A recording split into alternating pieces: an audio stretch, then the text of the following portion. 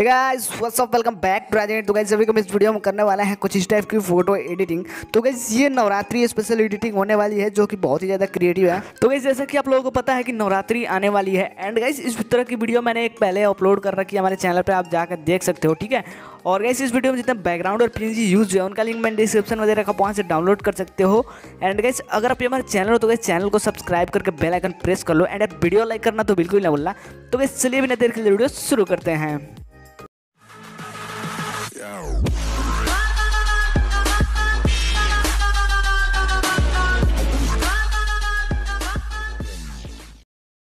सबसे पहले तो आपने इस बैकग्राउंड को यहाँ पर अपने पिक्सार्ट में ओपन कर लेना है और इस पिक्सार्ट में ओपन करने के बाद सिंपली इसको रिसाइज कर लेना है। तो यहाँ पर आपने इसको कर लेना है ट्वेंटी फाइव हंड्रेड इसको कर लेना है, ठीक है? और यहाँ पर रिसाइज करने के बाद से आपने सिंपली चले जाना है ऐड फ़ोटो पे। तो यहाँ पर कहीं जाते हैं हम ऐड फ़ोटो पे और यहाँ ऐड फ़ोटो पर जाने के बाद से हमें माँ दुर्गा की एक PNG ले लेनी है, ठीक है? तो यहाँ पर हम इनको ऐड कर लेते हैं और किसी टाइप से ऐड करने के बाद से आपने यहाँ पर ऊपर तक की तरफ़ सेट कर लेना है। और फिर कैसे इसको इरेजर में ले जाना है और इरेजर में ले जाने के बाद हार्डनेस ज़ीरो करनी है साइज़ थोड़ा सा इंक्रीज करना है। और कैसे इसमें नीचे से हल्का हल्का इसको इरेज कर देना है। तो यहाँ पर हम इसको हल्का सा साइड से इरेज कर लेते हैं। और यहाँ पर इरेज करने के बाद सिंपली इसको यहाँ डन करेंगे और इधर से भी हम डन करते हैं। और डन करने के बाद हम सिंपली इसको टूल्स में ले जाएँगे और यहाँ पर आपको टी शिफ्ट का ऑप्शन मिलेगा, उसमें चले जाना है। और यहाँ पर गई आपने कुछ स्टेप से इसको ब्लर कर लेना है और यहाँ पर ब्लर इसमें रेडियस रख लेना है एट परसेंट के आसपास एट टू टेन रख लेना आप, ठीक है? तो यहाँ पर हम इसमें थोड़ा सा कम कर देते हैं। और इसके बाद से सिंपली यहाँ से इसको डन कर देंगे। और डन करने के बाद हम सिंपली ऐड फ़ोटो पर चले जाएँगे। और यहाँ गई हम अपने मॉडल को करेंगे ऐड ठीक है?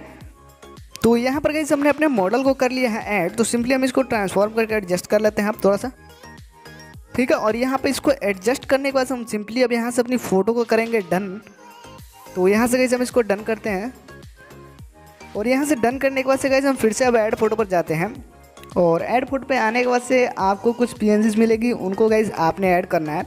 तो यहाँ पर जी हमारी फ़र्स्ट पीएनजी है तो गाइज़ इसको हम ऐड कर लेते हैं। और सिंपली यहाँ से डन कर देंगे। फिर गाइज़ फिर से हम ऐड फ़ोटो पर जाएँगे। और फिर गाइज़ स्मोक वाली पीएनजी आपको मिलेगी, इसको ऐड कर लेना है। तो यहाँ पर गाइज़ हम इसको फुल बैकग्राउंड पे कर लेते हैं और यहाँ पर इसको फुल बैकग्राउंड पे करने के बाद से अब हम सिंपली यहाँ से डन कर देंगे। और यहाँ डन करने के बाद से गाइज़ हम फिर से ऐड फ़ोटो पर जाते हैं और यहाँ पर गाइज़ आपको मिलेगी एक माला की पी एन जी उसको ऐड कर लेना है। तो यहाँ से गाइज़ हम इसको ऐड कर लेते हैं, ठीक है? और यहाँ पर ये रही तो हम इसको ऐड कर लेते हैं बस। और इसको ऐड करने के बाद से आपने इसे अपने गले में लगा लेना है तो यहाँ पर आपने ठीक से लगाना है ताकि थोड़ा सही लगे, ठीक है? तो हम यहाँ पर इसको लगा लेते हैं, ठीक है?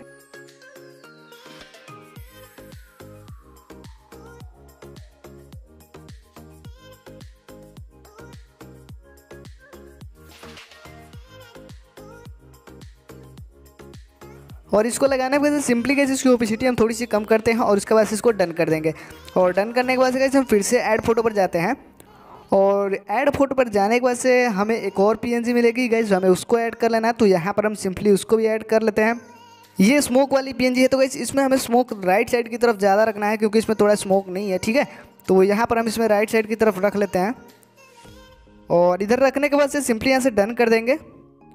और डन करने के बाद से हम फिर से ऐड फ़ोटो पर जाते हैं। अब हमारे यहाँ तिलक का पीएनजी बचा है और एक टेक्स्ट पीएनजी बचा है। तो हम इन दोनों को ऐड करेंगे अब धीरे धीरे तो सिंपली पहले हम तिलक वाले पीएनजी को ऐड करते हैं और यहाँ पर टेक्स्ट पीएनजी को भी। तो दोनों को हमने ऐड कर लिया है। तो टेक्स्ट पीएनजी का हम ब्लेंडिंग मोड ले जाएँगे और इसको डार्कन रख देंगे।